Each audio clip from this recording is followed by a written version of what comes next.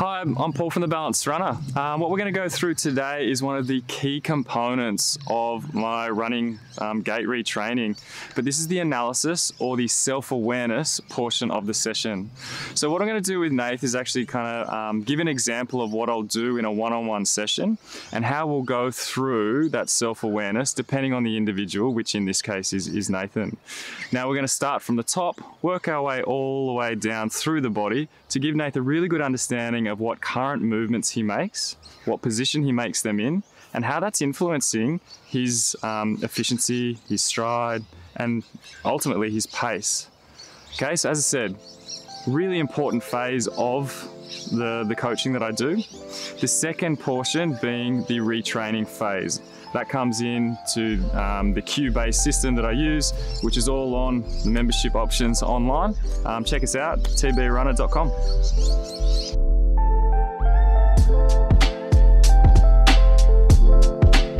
Okay, so Nath, what I'm going to get you to do when you run out and back, the two things I want you to start off by feeling is when you run, how close are you with your arm swing or how far away? Like get a feel for is it close, is it far Yeah. away?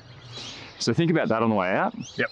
And then on the way back, I want you to just think about right versus left, left versus right. Do they feel the same movement Yeah. or are they a little bit different? And just tell me what starts to stand out. If you don't feel anything, that's okay. We'll just start to kind of Yeah. pull a Pick it piece, yeah, pick, pick it apart a bit. But for now, on the way out, how close or how far away are you Yeah. to your ribs when you run? And on the way back, right and left, are they the same? Are they different? Yeah. Ah, sweet. What do you reckon? My elbows have always been out wide. Yeah, I can see you sort of grinning as soon as I say how close, how far, and you're Yeah. like, oh, oh, yeah, Nah, I've always known they've been pretty wide. yeah, But um, whenever I've tried to like fix it, yeah, I feel like it's just like I just always fall back into that yeah, because it's just a lot more comfortable. yeah. Then and I Um, I think also, and we'll get to shoulders, like the shoulder position and the shoulder tension where you hold it is putting you there. yeah, So unless you actually kind of focus on what's engaging, Yeah, it's yeah. really hard. You can go, okay, I'm still in this. I'm going to try and tighten it up Yeah. and pull them closer. But it's actually about, you know, where it is. And it actually gets into lats as well. Yeah. So it's like, oh, I'm trying to let my shoulders go, but it's yeah, further around, which makes it really difficult. So yeah, Yeah. then you stuff it. I'll just go, I'll just go back to um, what feels comfortable. Yeah. Which is pretty normal. Yeah. Right, And- right and left. Well, my right's always been loose, like the el- at the elbow. Yeah. Whereas my left, I've always found it's pretty. So what do you think? Yeah, yeah. What do you think loose and tight is? So what, what, what could you pick through that loose and tight? What could it mean? What couldn't it mean? Um, oh, it's just this is t- like tense, and it's just like I'm more because I'm right-handed. Yeah. So you've just got a lot more freedom with that side. Yeah. So like say I don't know in speed work or and when you're really pumping Yeah. and you want to extend that, this doesn't want to ex- extend Yeah. as much, but Why would you want to extend it? just to get more power. Is it getting more power? Uh, yeah. It feels like it's more effort. Um, Like it feels like you're doing more. I've always thought like it will put more downwards pressure, Yeah. so into the into the stride. Yeah. Um, thus meaning Yeah, more yeah. power. But Is it? So if you're if you're trying to go forward and if you're trying to get off the ground, sinking down, is that going to help? probably not. No.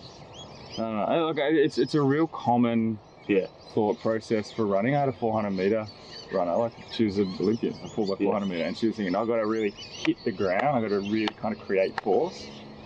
It's creating noise. It's creating hit, like it's a Yeah, hard impact. But when we're running, we're trying to stay off the ground. Yeah. So we actually want to do as little as possible to maintain pace, like apply force to to accelerate. But once you get up there, it's like I want to do as little as possible to maintain. Now, the more I come down and try and hit down, Yeah. the more I'm trying to come down and hit down. Yeah, I'm not actually trying to get off. Yeah. Yeah. And this long lever, particularly, like I hear a lot with sprinting as well.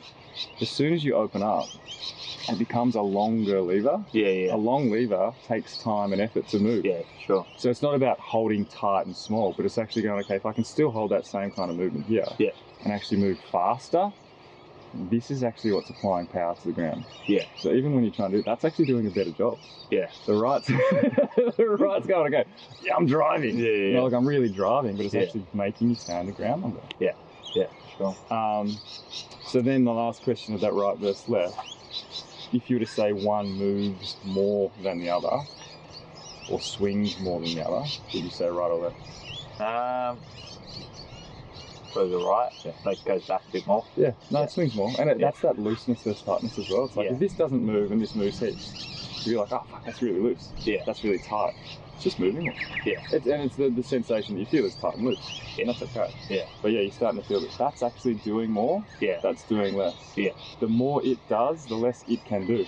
Yeah.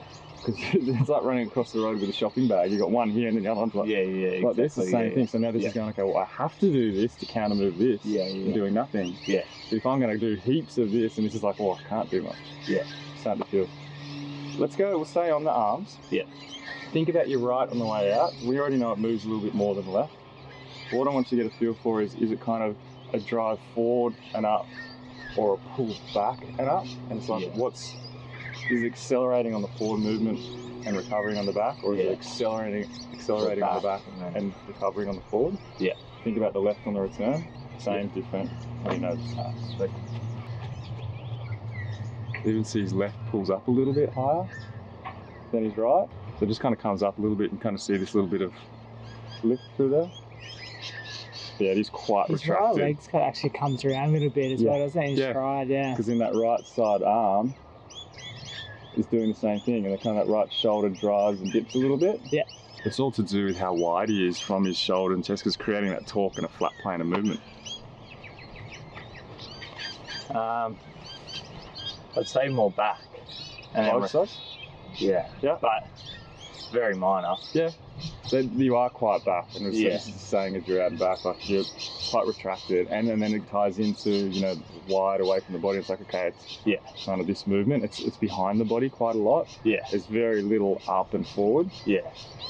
Um, it'd be interesting if you looked at the video. Kind of, we could use a visual side to it. I think the right side does come forward a little bit more, but I think it's Yeah. just a bit more movement rather than like the rhythm side to it. Just a bit Yeah. more movement than the left. Yeah. So starting to get a feeling of what you're doing. Yeah.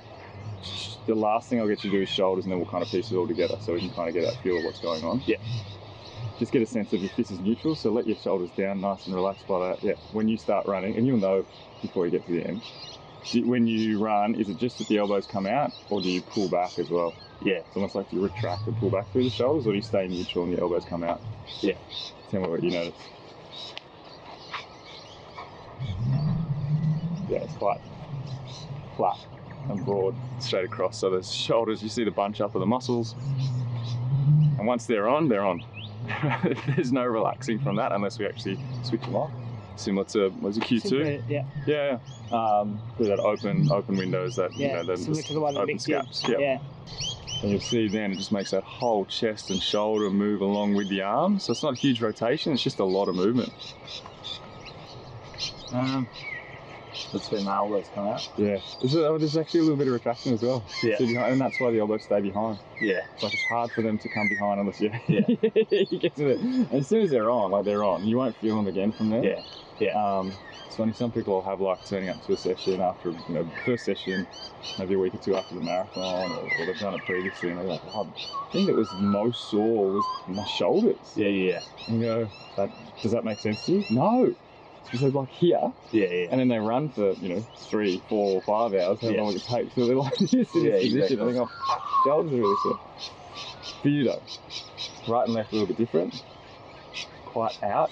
Yeah. And, you know, it's quite a flat movement.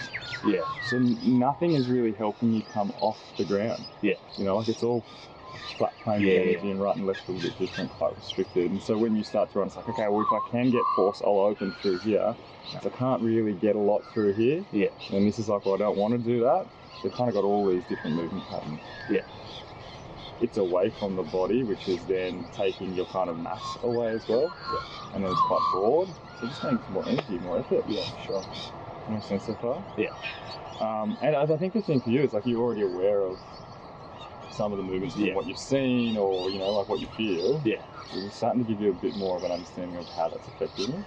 So particularly when these are restricted or they can't swing as freely, it takes away time and space for them to be the, the, the dominant movement.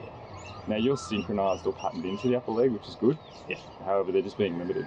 Yeah. It's like, okay, I'll do this. It's like, okay, a little bit of a choppier stride rather than just a nice flowy, Yeah. open pattern of movement, even at easy pace. Yeah. Um, but then as you start to get into open, you know, faster pace, so we want to actually use range. Yeah. But if they can't swing, you can't get that range. So then it's like, okay, well, I'll just spin more. Yeah. I just have to work really hard to drive. Yeah. my Yeah. Yeah. Does that all sound about right to the way that you Yeah. kind of Yeah. yeah. Um, yeah. Pretty much spot on. Yeah, spot on. So when Yeah. you start to do race stuff, it's like, okay, I just got to turn over heaps more and if we're quite Yeah. tight. Um, Well, like the funniest thing is, like if you watch a race of mine, I do have a longer stride Yeah. than most people. Yeah. But yeah, I've always wondered. It's like, but I wouldn't say it really works in my favour too much. But okay, what's like, that? Well, like um, I think yeah, like a lot of effort goes into Yeah, it. okay. Um, so it's like you when once I open up, Yeah.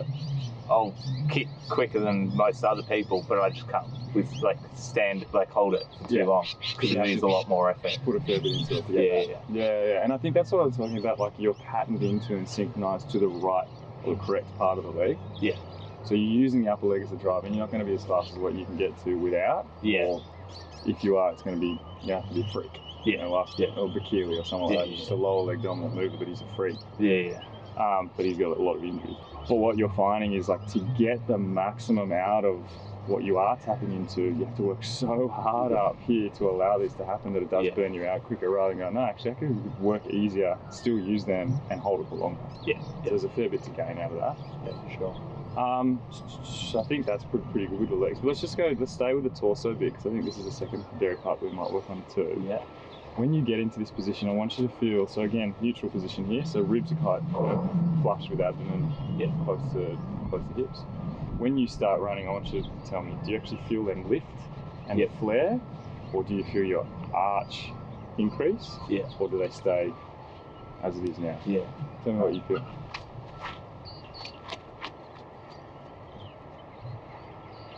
Yeah, he's pretty interesting in, in regards to like it is a little bit like his lower leg has to move a little bit more, but he makes him real toey. It's not like a smooth, open pattern of movement because he's quite, you know, broad and restricted. So he's obviously a good runner, like a really good runner. But he's limiting his capacity on, on like how much he can get out of what he's actually got good stuff, or what is good at the moment.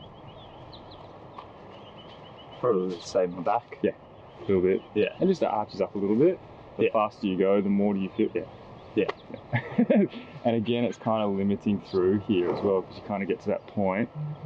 Like, okay, well, I'm trying to, I'm trying to push and extend through that hip drive and the hip range, but I'm actually kind of Yeah, limiting. Yeah, rather than, and I don't want. It's not about kind of being rounded or too far forward, but if you're being in a neutral position, actually allows us to kind of create A bit yeah. more range. Yeah, just kind of push yourself forward. Yeah. I think the big thing for you to take away outside of what we'll work on is nothing from hips up is giving you any force. Yeah. So we want to actually take away any tension, any you know um, stiffness, any width. Yeah. To allow these to work better, because anything you do up here is actually at the moment not helping that part. Yeah. So the only things we can help with from the top half is like you know, balance, movement, stability, lift. Yeah. No force. Yeah. No force. no Yeah. force. You're not touching the ground. Yeah. Except by legs down. So we may as well go, okay, let's just turn everything off. Yeah. Increase movement, increase flow, increase what you're doing. Yeah. So that then we can actually get more out of them. Sure. Yeah? Yep. So what I will get you to do, so this and this will be more about trying to get a feel for what you're doing now compared to. So Yeah. This will just be a baseline. The the number's arbitrary. It's just about what you feel. If you run out and back, I want you to think about upper legs. So like hip to knee. Yeah. Compared to knee to foot. Yeah. I want you to run out and back and tell me what feels like, what part of the leg feels like it is doing more. Okay. Yeah. Is it the upper leg that's doing more? Is it the lower leg that's doing more? Yeah. If 50 50 is even, where do you see or feel your ratio between the two? Ah. And again, it's there's no right or wrong answer to this. Yeah. It's just about what you currently feel. So then we can actually kind of compare it to what we're going to do. That perfect. It's actually interesting seeing like the first couple of steps, and whilst distance running, you know, it's it's 0.001% of the run. but he drives down and back with the kind of down and back with his hands and lower arms until he kind of then he gets into his pattern. But that becomes exactly what he was talking about Like when he's trying to run takeoff. fast. Yeah. Yeah. But even a sprinter takeoff, you see him big and up. Like they Yeah. do, I think, open and extend a little bit too much through here rather than drive back and up with the elbow. Say upper leg. Yeah. Like Is it- 60 40. Yeah, cool. And it's just to give that arbitrary. So it's like it is working. It has Yeah. to. Yeah. Um, the way that you move. You're landing. Have you thought through that at some point or another to change it, or has that just always been how you landed? Just always. Yeah. Quite high. Quite high on the toes. It's not not a bad thing. Yeah. But Um, like in saying that, I reckon like it would probably tone down when I've gotten into my running. yeah, okay. Yeah, it's just obviously once you get up and it's like, yeah. Yeah, yeah, yeah. But yeah, like I I know I land pretty heavily outside Outside in. on the right. The Yeah. left's not as much. Yeah. But like if you look at all my shoes, it's like yeah, the outside, right? yeah. Well, let- let's go on right and left. Yeah. All I want you to do is go, does it lead? Like I know you're sort of talking about on the outside. I just want you to run out and back and tell me, does one one leg lead or reach further in front of the body, right or left? Yeah, does it yeah. actually feel like one gets further in front? Ah. So they, they come up behind pretty much the same height. The left probably flicks up a little bit quicker, but only marginally. Like it's just pretty minimal.